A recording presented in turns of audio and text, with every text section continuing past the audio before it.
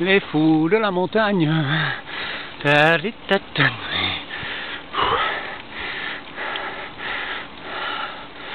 Juju, je pense à toi.